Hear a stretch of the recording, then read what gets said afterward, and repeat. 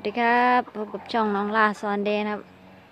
วันนี้เจอกันอีกแล้วครับ วันนี้เอาความสวยงามของต้นดาวเรืองมาฝากครับ ดอกดาวเรืองของน้องลาบานเต็มเลยครับ นี่ครับ บานเต็มเลย อันนี้ที่เห็นเหี่ยวๆนี่คือเขามาตัดต้นไม้ข้างบ้านครับ ต้นไม้ล้มใส่ต้องถอนออก ถอนออกมาปลูก แต่ต้นเขายัง ไม่ตายครับถอนมาปลูกรดน้ำก็ยังงอกอยู่ ก็ยังโชคดีที่เขาไม่ ไม่ตายนะครับ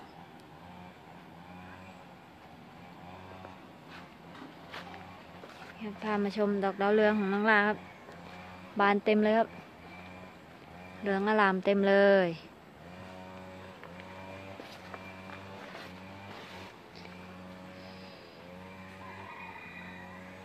ดอกใหญ่ๆสวยๆนี่น้องลาเก็บถวายพระครับ แต่ว่า ไม่ทัน เพราะว่าดาวเรืองออกเยอะ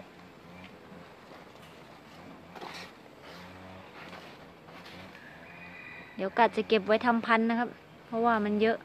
เราก็จะเก็บไว้ทำพันเอาไว้ เดี๋ยว จะไปท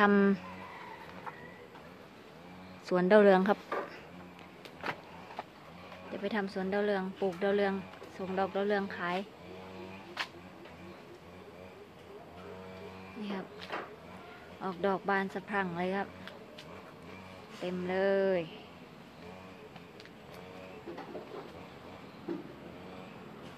โอ้ยโยกโยกดาวเรืองดอกใหญ่ๆนะครับดาวเรืองดอกใหญ่แต่เป็นกลีบดอก กลีบดอกจะเล็กครับนี่ครับกลีบดอกเล็ก แต่ว่าดอกใหญ่มาก บานหมดแล้วครับ ก็ยังยังเหลือ ยังเหลือชุดนี้ที่ยังไม่บานนะครับกำลังเริ่มเป็นดอก อันนี้ชุดชุดที่สองก็มีบานบ้างแต่ว่า ไม่เยอะ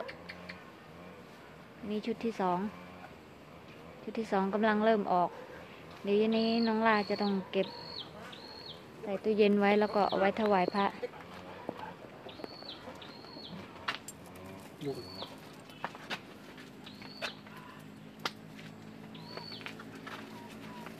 จุดนี้ยังไม่ออกครับกำลังเป็นดอก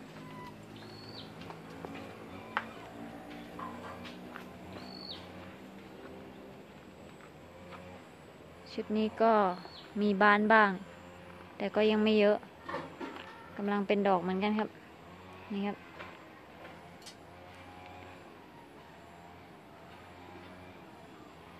พื้นที่ยังไม่เคยได้ปลูกอะไรนะครับ ก็พอมาปลูกก็ดินยังดีอยู่มีปุ๋ยเยอะ มีสารอาหารเยอะเขาก็ ปลูกอะไรไปก็งาม นี่ครับต้นนี้ล้ม ต้องหาเชือกมามัดครับ เพราะว่าต้นเขาใหญ่น้องลาปลูก น้องลาปลูกดาวเรือง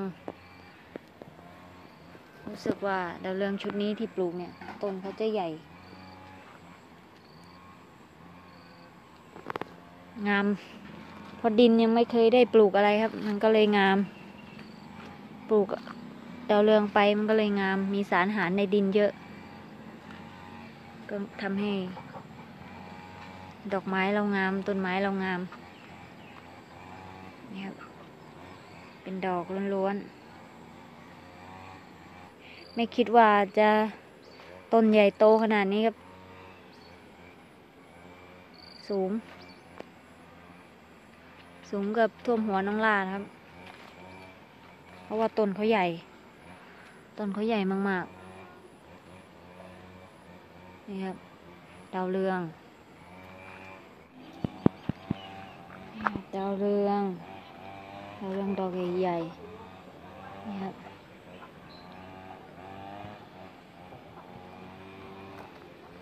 ปลูกทุกอย่างปลูกตั้งแต่หน้าบ้านยันหลังบ้านนะครับอันนี้เป็นพริก อันนี้คือเผือกนะครับ ต้นเผือกนี่ครับต้นเผือกดาวเรืองชุดนี้ก็ยังไม่ได้ยังไม่ออกดอกนะครับ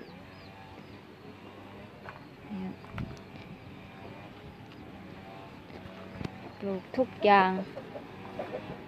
ปลูกทุกอย่างที่ปลูกได้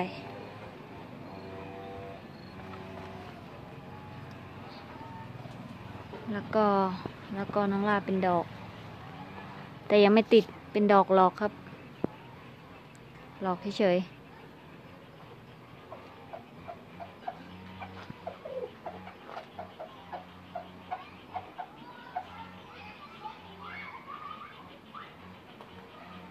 วันนี้ก็พามาชม